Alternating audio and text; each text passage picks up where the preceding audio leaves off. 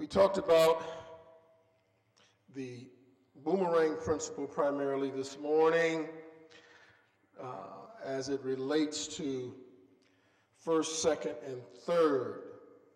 Our primary text was from the book of Matthew, where we started verse 37 through 41 when the lawyer asked Jesus, What is the great commandment? And Jesus said, Love the Lord with all your heart, soul, and mind. And the second is to love your neighbor as yourself. We found out even more so that God is to be first in our lives and we serve our fellow brethren and we are third. First, second, and third. But that's not a bad thing to be third because we found out that because of the boomerang principle, what you give out will come back. I had several kids come up to me after the service today and wanted to play with the boomerang. And so uh, you got to be careful with this. And uh, Shannon shared a story of how when she was a young girl, she had a boomerang, how she would throw it. One of the things she shared was trying to make a decision whether to catch the boomerang or duck.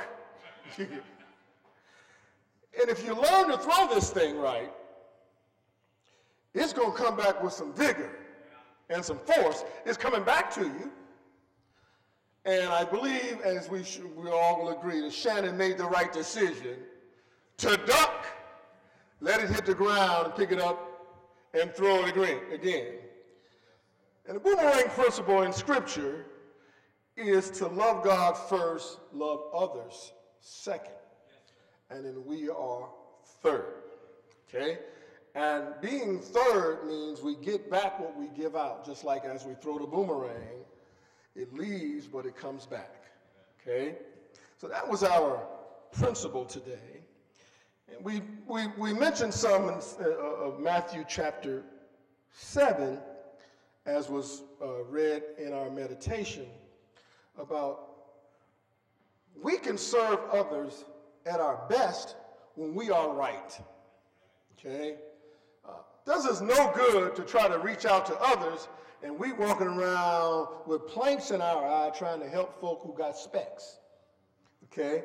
So, so if we're all out of sorts, even in our best efforts, we're going to destroy our witness to those we're trying to help because they'll say, well, you know, it was nice of them to give me that bag of groceries, but they need to get their act together because they're in there arguing and acting crazy. And, and so we destroy our witness that way.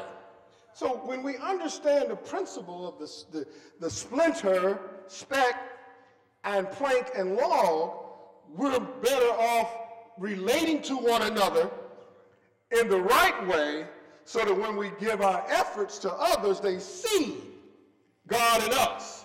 Okay? So uh, we, we highlighted on that.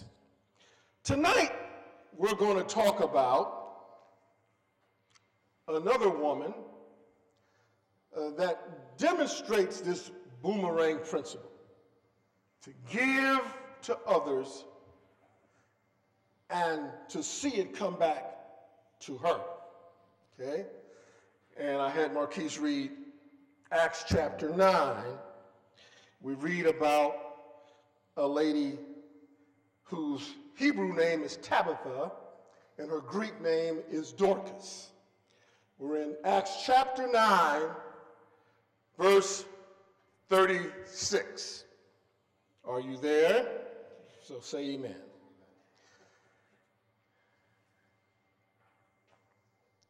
At Joppa, there was a certain disciple named Tabitha, which is translated Dorcas. This woman was full of good works and charitable deeds which she did.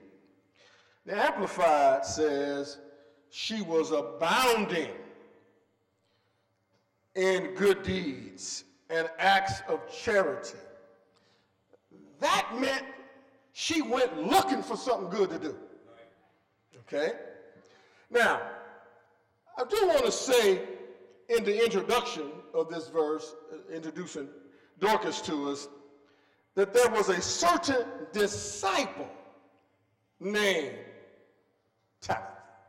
That's critical. Because women back in New Testament times were not given distinctions uh, of high character and priority because that was not custom, customary to do that for women. Okay? Uh, I'll give you an example. When Jesus fed the 5,000, they said it, the, uh, the scripture says 5,000 men. Well, we didn't count women and children because in, in society at that time, uh, they were not esteemed on the same level as men. Okay? That's just how it was. Okay? Luke makes it clear that this woman deserves the title. Y'all missed that. This woman deserved the title of disciple. You didn't do that for women back then. Okay? The term disciple is critical because there is a difference between a Christian and a disciple. Hello, somebody. Okay? In the book of Matthew, in the Great Commission, chapter 28, verses 18 through 20, Jesus says, Go and, and teach all nations, baptizing them. So you become a Christian by being taught and then baptized. Then the verse says, teaching to observe, teaching them to observe all things which I've commanded you. That's how you now become a disciple. Okay? Because now you begin to observe all the things. So there's a second level of teaching. The teaching to get, help you become a Christian, you get baptized, and then there is teaching continuously to disciple you. So when Luke says that she was a disciple, this woman wasn't nothing to play with. Because women didn't get that distinction. And she was so dynamic that Luke, the writer of Acts, says, I'm going to point her out because she needs to be known throughout history. She was a disciple. Okay? Is everybody okay with that? Okay, so uh, we know who we are dealing with with this kind of Christian now. Okay? Uh, New King James says she was full of good works. The Amplified says she was abounding. Okay? Now remember the principle loving God and loving others. And in yourself, you are last. She went looking to help somebody. You know anybody like that? That, that just looking for something to do that's good. What can I do to help somebody? A prayer was like, Lord, I thank you for this day. Now send some people my way that I can do something for. I want to help so badly. Put all the people in my way that you want me to help, and I'm ready to get it done. She was one of those kind of people. Lord is calling for people like that today, looking for something to do. We're going to find out later that she chose, God called her to serve the widows. Why widows?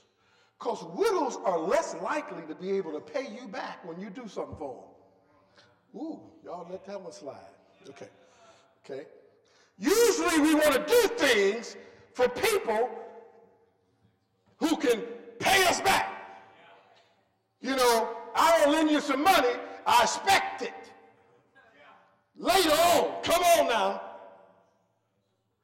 But when you work with widows, you don't expect that. Come on now. What I look like trying to get something back from Sister Ruth? I got to help Sister Ruth with something. I, ain't gonna. You, if you saw me doing her paying me back, y'all look at me like I was. What's that, Sister Ruth? What you doing that for? Okay, I'm not expecting anything back from her. She's a widow. What are you talking about? Whatever is done for her, we do it out of the goodness of our heart without expecting her to pay me back. She got bring me some money. Okay, Brother Smith, here it is. I got paid. It. You better keep that, Sister Rule. So, uh, so, so, so Dorcas sought after to help the people who needed her the most without looking for anything in return. Amen, somebody. Oh, what a woman. Amen. So that's where we're at. Right? Now, God wants us to keep him first. Amen. Seek God's kingdom first, and he will supply all these other things. God must affect your decisions that you live by as you live by God's perspective. Jesus said, uh, Why call me Lord, Lord, and do not the things I say? Okay? God needs to be in charge of your life. All right? When, when it's time for you to make decisions about life, it should be motivated by what God thinks about the subject that you're dealing with. Uh, you are not a disciple if Jesus is not your boss. He has the right and the power and the reign to rule in your life more and more. Uh, you don't have to guess. You shouldn't have to guess about who a disciple really is. I've said it before, uh, but if you were arrested for being a Christian, would there be enough evidence to convict you? Okay? It shouldn't be no doubt that people know that you are a follower of God. Shouldn't be a doubt at all. When they see, oh, that's a woman of God right there. That's a man of God right there. Shouldn't be no question. Okay? So when Dorcas's name came up, it was clear that everybody knew who she was because of the abounding good work she did. Everybody knew about her. Okay? And it was nothing she sought after. For the work's sake, she did it. Amen? All right. Now, she did principle number two phenomenally. No selfishness here. Uh, what a what an outstanding what an outstanding woman and uh, let's, let's read a little bit of the story, okay, and then make a couple points and get you on home. All right? Verse 37 But it happened in those days that she became sick and died. There is some theology out there that will try to teach you that if you are a faithful Christian of God, you don't get sick. And You sick because you ain't faithful. So you don't get much better than Dorcas and she got sick. Hello. Okay? Let nobody put that foolishness on you because there are those who, go who do. You go right around the corner on 105th Street, there are a couple of institutions that teach that doctrine. 100, 105th uh, over there by where Crystal live at. Whatever street that is. And there's one on 105th and Chester, both of them the same kind of people. All right? She died. When they washed her, they laid her in the upper room. Now, wait a minute. She died. Shalene, she died. So why did they bury her? Why did they take her up to, to the upper room? She is dead. So what do you do with dead people? You prepared them for burial, right? They didn't. Now watch why, okay? And since Lydda was near Joppa, and the disciples, there the word again, disciple, not just Christians, disciples. I can't emphasize that enough and y'all not getting it. And the disciples had heard that Peter was there. I get the visual now. They didn't bury her because somebody said, wait, Peter is right round corner. All right? They had heard enough about God working through Peter. Hello? All right? They knew when Peter was in jail in Acts chapter 4, all right, he walked through the bars and the, and the, and the, uh, the guards didn't even know he was gone. They heard enough about him when he, when he met the blind man, silver and gold I have I none, but what I have I give out to you. Okay? They knew about that. They knew the mighty works that God had went, through Peter. So when they said, homeboy is round the corner, somebody go get him. Now let me ask a question. Do you have a Peter in your life? That's somebody that can connect with God when you can't?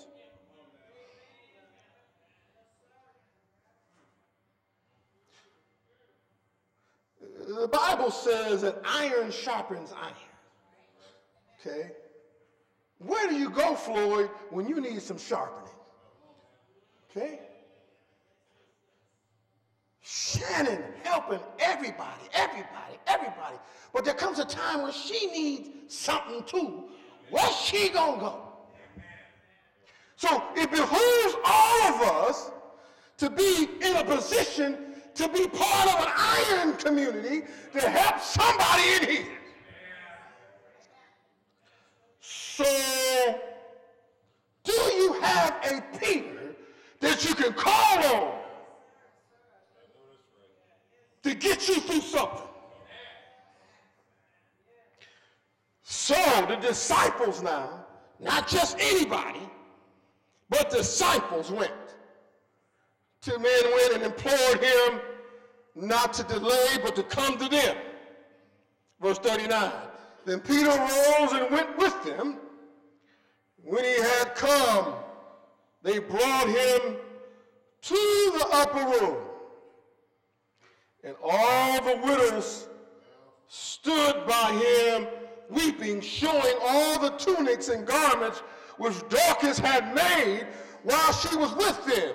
These women showed up now because the person who had ministered to them so, so many times had died and they came to show their respects. And it was they were hurt by the fact that we have lost our best friend. So they were there crying and weeping about how, how, how hurt they were. And they showed Peter, look what she did. What she did for us. I needed a skirt. She made it. I needed a sweater. She took care of me. I, I, I, anything I needed, Dorcas took care of it, Peter. So, uh, but Peter put them all out. See, Peter knew, and he didn't want it to occur in this case, that if everybody watching Peter praying to do what he had done before, it would be easy for folk to be like, look what Peter did. But with them out of the room, Tange, and it's just Peter and Dorcas, and Peter on his knees praying, okay, now you know who's doing the works. Okay? Because human nature would have you think, boy, Peter, there's something else, ain't he? That ain't what we doing here. Because God gets the glory. Okay? Peter makes sure we ain't about to do this one. Not like that. So y'all go on and leave. Let me and God, we're going to get this done. Okay?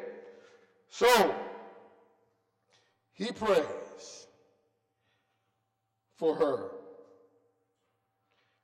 And he mentions, calls her names. She opened up her eyes.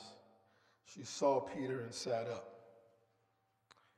Then he gave her his hand and lifted her up.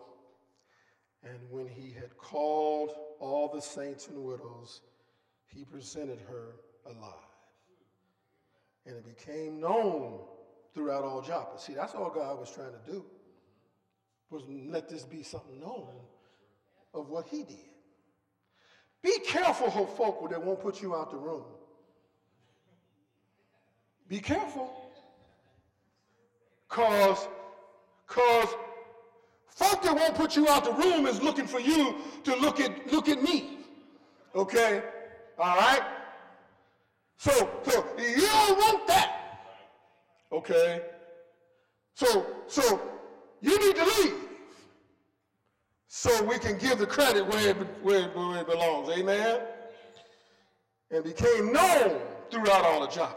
And many did what? Believed on the Lord. Okay? All that God ever calls us to do is to do work where folk can believe on Him, not on us. We, we do the works of God. God works through us to get His glory for the salvation of mankind. Okay? And that's what happened here. Okay? Prayer isn't forcing God to do what he hadn't intended to do. Okay? Doesn't force it. But what it does, it releases what God has already decided to do. Okay? All right? Let's, let's do this. Let's do this one.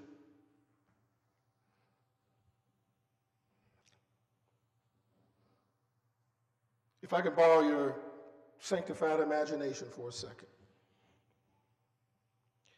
In heaven,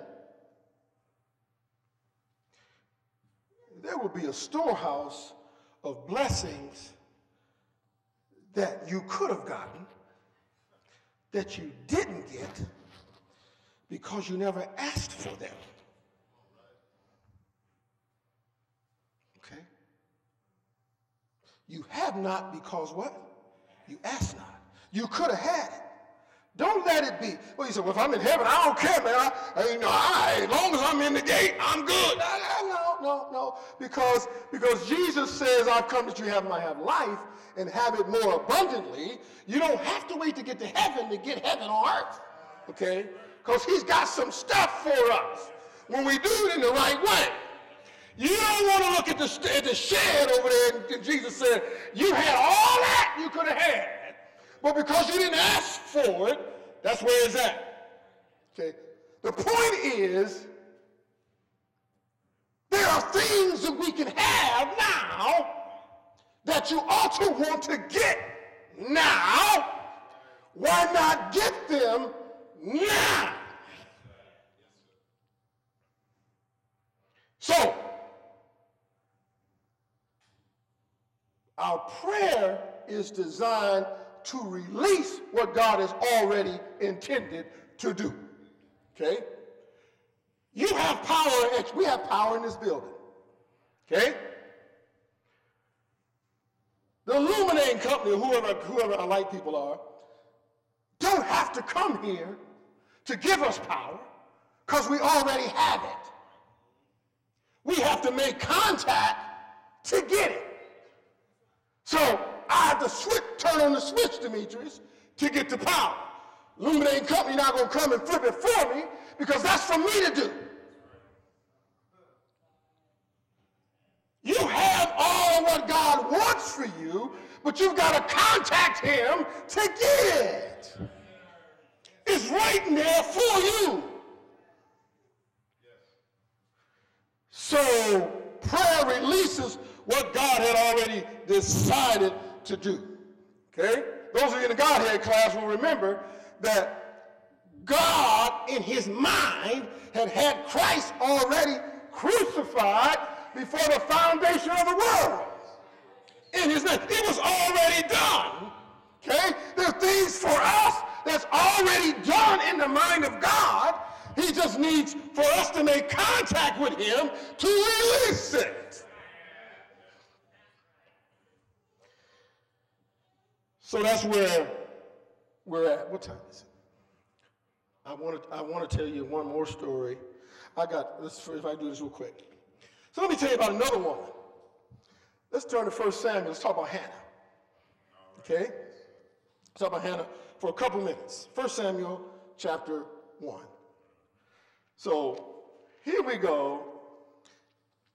Israel had become a rebellious nation. Okay? And God needed a godly man, a godly prophet to get them back right. Okay? So he uh, he he picks Hannah for what needs to be done here. Hannah was one of the wives of um, uh, I can't pronounce his name. okay. And um, one of the wives could have kids, but Hannah couldn't. God had closed Hannah's womb. Look at verse 5. But to Hannah, he would give a double portion, for he loved, this is the, this is the, the husband. And what he was trying to do was make up for, Hannah, you can't have no, no kids, but I'm going to buy you another car. Okay? I'm going to make sure you got all the other stuff you need. Okay? Uh, although the Lord had closed Hannah's womb. Okay? Hannah was depressed. She was trying. In those days, women wanted to bear a son. Okay? That made them, that made them feel like they were worthwhile on earth. Okay? All right? So Hannah couldn't bear any children because the Lord had closed the womb. All right? So what we have is Hannah getting to a point where she prays to God. Okay? Uh, and in her grief said, Lord, if you give me a son, I'll give him back to you. Okay? Now, she had been praying all along because she had been going to the temple. She was going to church. She's going to church every Sunday. Okay? All right? And so she wasn't unfaithful. The Lord had just closed the womb. Then she decided to pray. Lord, give me the child, I'll give him back. Give me a son, I'll give him back to you. Okay? See, when you get desperate enough, you'll pray the right prayer. Okay? You know, this was not no lay me down and sleep. I pray the Lord the soul to keep prayer. This was this is this just you just go get down with the get downs here. Okay? All right? And so once she committed to that, God said, uh-huh, that's where I want you. I got you where I want you. Because now you're going to release him to me.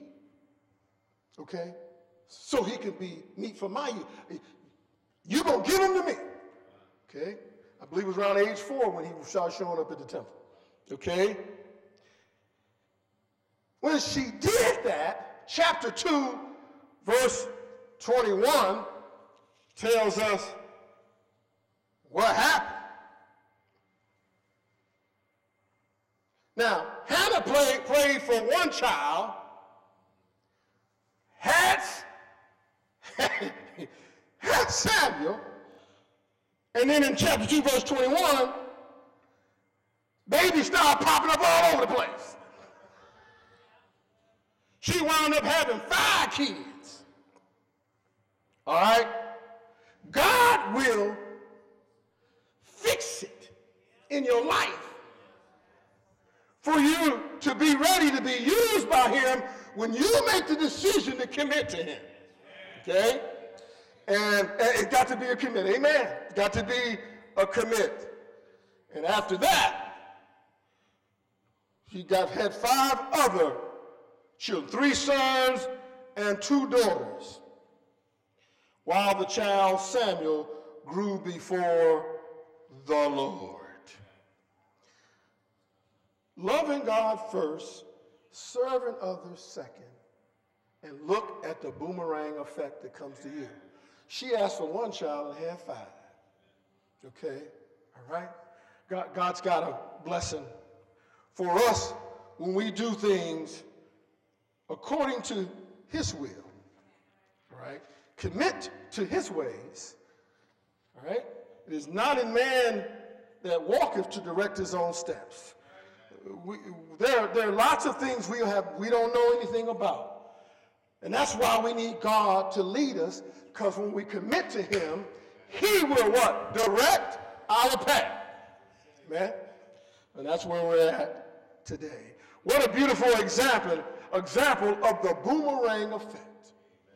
With both these women gave up to get back in a way that they didn't even think of. You know why? Because God can do exceedingly abundantly above what we ask or think. Okay? All right? And, and, and knowing we serve a God like that ought to, ought to energize us to the point of knowing that whatever God's plan is for my life, it is going to be all right.